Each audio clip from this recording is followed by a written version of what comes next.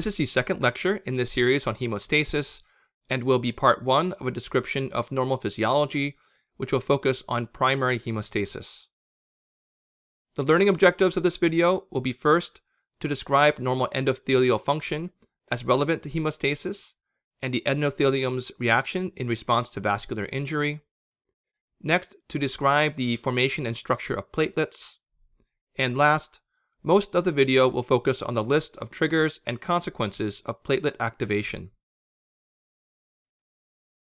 I'm showing this overview of hemostasis again just to orient you in that I'll be focusing this video on this part, including the role of collagen, von Willebrand factor, and fibrinogen on platelet activation and their aggregation into a platelet plug.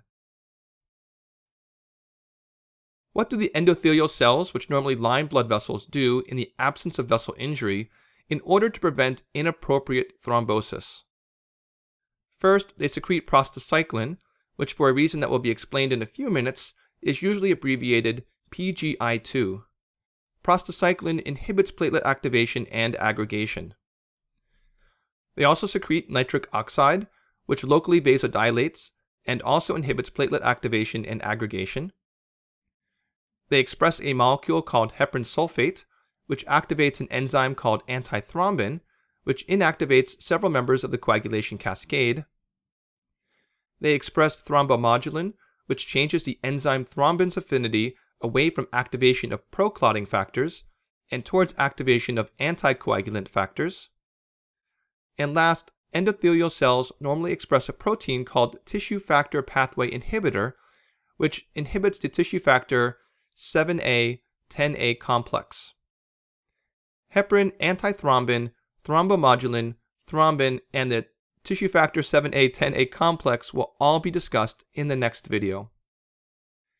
In addition to these normal functions of the endothelium, which prevent spontaneous thrombosis, the normal laminar flow of blood through the vessels typically results in a layer of cell-free plasma immediately adjacent to the endothelium preventing platelets from making physical contact with endothelial cells, which could have the potential to trigger activation.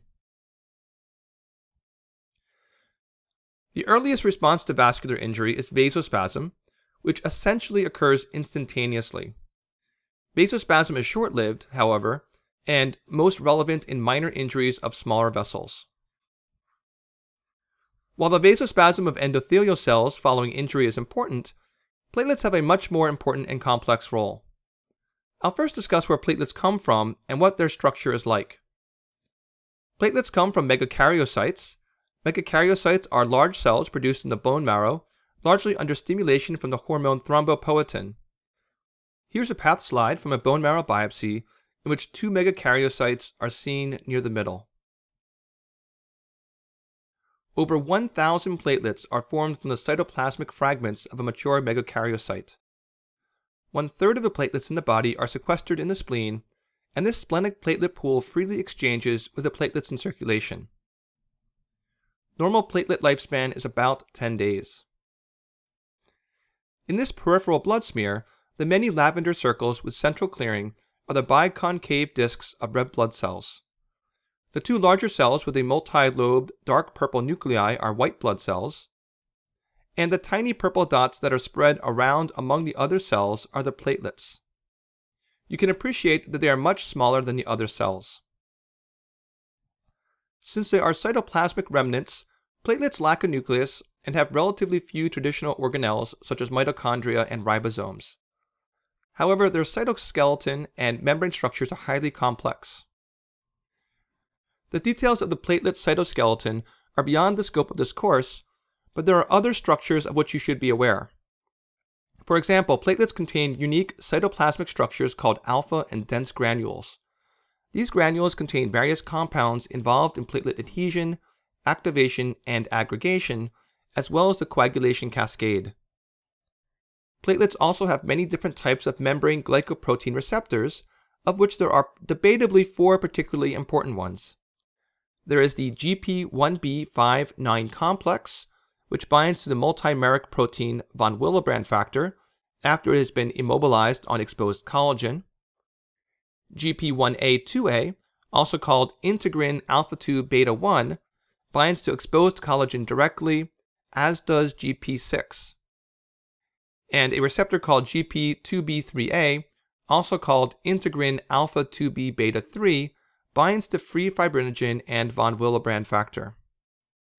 If you're wondering about the confusing nomenclatures for these receptors, the GP system, which stands for glycoprotein, designates numbers and letters to proteins according to their electrophoretic mobility on polyacrylamide gels. The integrin nomenclature is based on the protein structure. Unfortunately, neither of these are remotely helpful in understanding or remembering their functions. The normal response of platelets to vascular injury is dependent upon something called von Willebrand factor. This is a large circulating glycoprotein that is produced by platelets in endothelial cells and which has key roles in both platelet adhesion and aggregation, as well as in coagulation. Von Willebrand factor exists as a heterogeneous mixture of multimers of various sizes, which are linked by disulfide bridges. Smaller multimers are constitutively secreted by endothelial cells and megakaryocytes, while larger multimers are stored in endothelial cells within structures called Weibel Palade bodies and in platelets within structures called the alpha granules. The larger multimers have greater activity than the smaller ones. Von Willebrand factor also plays a role in the coagulation cascade, in which it binds to circulating factor VIII, greatly increasing its half-life. The von Willebrand factor protein contains many different binding sites, including ones for collagen, GP1B, GP2B3A, factor VIII, and heparin. The largest multimers are broken down by an enzyme called ADAMTS13, an acronym which stands for a disintegrin and metalloproteinase with a thrombospondin type 1 motif, member 13. That must be one of the most ridiculous enzyme names in the body. The enzyme is important, however, because reduced activity can lead to a life threatening condition called thrombotic thrombocytopenic purpura, or TTP, in which patients develop microscopic blood clots throughout the body. TTP will be discussed in a later video. Interestingly, patients with type O blood have lower levels of von Willebrand factor compared to other blood types, which may be related to the observations that patients with type O blood may be slightly more prone to bleeding complications, and patients with non O blood groups may have slightly higher rates of heart disease and venous thromboembolism. As platelets travel in the circulation, they exist in an inactivated state. Inactivated platelets are non sticky, so to speak, and do not actively secrete compounds into the blood that promote hemostasis. So, what are the triggers for activation in which platelets transition from a relatively quiet antithrombotic state to one that is prothrombotic? There are four primary compounds that trigger platelet activation, each of which uses one or more specific receptors. The trigger for the first wave of platelets to be activated is subendothelial collagen, which is exposed to the blood following vascular injury. ADP is another trigger which is actively secreted out of activated platelets in an autocrine and paracrine fashion. This means that it acts only very locally, in which an activated platelet that secreted ADP can have its activation further enhanced by ADP binding to itself, or ADP can activate inactivated platelets in the immediate vicinity. Thromboxane A2 is a compound that diffuses out of activated platelets and can also act in either an autocrine or paracrine fashion. Finally, thrombin, an enzyme which itself is activated from the coagulation cascade, can activate platelets as well. So just in the last several minutes, I've mentioned a lot of different receptors, proteins, and other factors, and you may be starting to lose track of what each of these things is responsible for. To help synthesize all this information into a cohesive picture of how the individual components of platelet activation fit together, let me walk you through a, a brief animation. So here's a blood vessel wall with red blood cells flowing past the endothelium. Beneath the endothelium is the subendothelial matrix and a layer of collagen fibers. Now be aware this is not to scale. Now let's suppose that the endothelium is damaged somehow, exposing the blood to the subendothelial collagen. Although there is a lot of overlap in the chronology of the steps of platelet activation, conceptually you might consider platelet adhesion as being the first step. Von Willebrand factor that is either circulating in the blood or which is released by endothelial cells, binds to the collagen. Local turbulence in the flow of blood brings inactivated platelets close enough to the site of injury that the GP1B59 receptor complex binds to the immobilized von Willebrand factor. Other platelets will rely on the GP6 or GP1A2A receptors to bind directly to the collagen, and any of these can activate the platelets. Activated platelets begin secreting the contents of their alpha granules, which include fibrinogen, more von Willebrand factor, and a member of the coagulation cascade called factor V. They also secrete the contents of the dense granules, which most importantly includes ADP. Activated platelets will also start to generate thromboxane A2, which diffuses directly through the cell membrane. At this point, aggregation starts to occur. This is dependent upon platelet activation triggering a conformational change in the GP2B3A receptor from an inactive to active state. Now fibrinogen and von Willebrand factor can function as bridges between the GP2B3A receptors on neighboring activated platelets. As platelets start to aggregate, more pro-hemostatic compounds are secreted, activating more platelets, leading to more aggregation, and before long, an enormous bunch of platelets are stuck together in what is referred to as the platelet plug. In addition to the aforementioned consequences of activation, two more are critically important. First, platelets change shape when activated. In response to an activation triggered increase in intracellular calcium, rearrangements of the internal cytoskeleton causes their normal discoid shape to transform into a highly irregular morphology with numerous projections of cytoplasm sticking out in all directions. Here's an electron micrograph of the three major types of blood cells. On the left is the biconcave disc of a red blood cell. On the right is the round, irregularly surfaced white blood cell.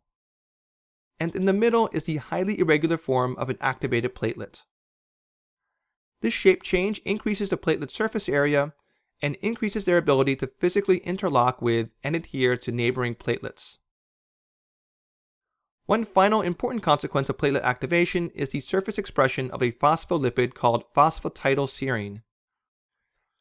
The concentration of negative charges from the phosphatidylserine on the surface of the outer plasma membrane supports assembly of clotting factor complexes to be discussed in the next video. Because the mechanism and consequence of platelet activation is difficult to remember, I'm going to run through it one more time using a different diagram with some additional details about the platelet receptors involved. Once again, after vascular injury, subendothelial collagen becomes exposed. The GP6 and GP1A2A receptors bind to this directly, and the GP1B59 receptor complex binds to collagen via von Willebrand factor. The process by which platelets initially become stuck to exposed collagen is platelet adhesion. The act of platelet adhesion to collagen can itself lead to platelet activation, Platelet activation can also be triggered by thrombin, which is formed from the coagulation cascade and which binds to the PAR1 receptor. It can be triggered by thromboxane A2, which binds to the thromboxane A2 receptor, and it can be triggered by ADP, which binds to the P2Y1 and P2Y12 receptors. Each of these receptors is important because they are potential drug targets, some of which are used by drugs already on the market, and some of which are being investigated. Consequences of platelet activation include secretion of granules, which release ADP, more von Willebrand factor, and fibrinogen. Platelet activation also leads to their shape change, and it leads to activation of the GP2B3A receptor. Activation of this receptor allows it to bind fibrinogen and von Willebrand factor, which, aided by the shape change, results in platelet aggregation. The consequence of significant platelet aggregation is the formation of the platelet plug.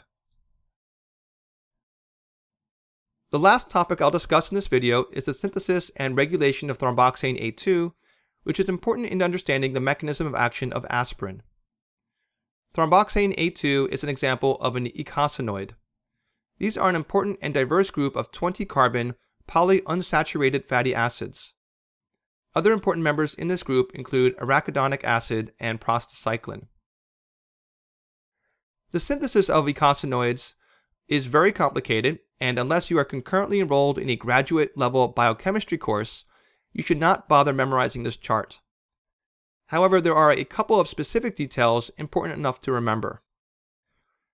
The first is that prostacyclin synthase is more active in the endothelium, and the consequences of its product, prostacyclin, is that platelets are inhibited and there is vasodilation. Conversely, thromboxane synthase is more active in platelets, and the actions of thromboxane A2 are to activate platelets we've, as we've already mentioned, and also to cause vasoconstriction. So there is physiologic antagonism in the body between those two enzymes.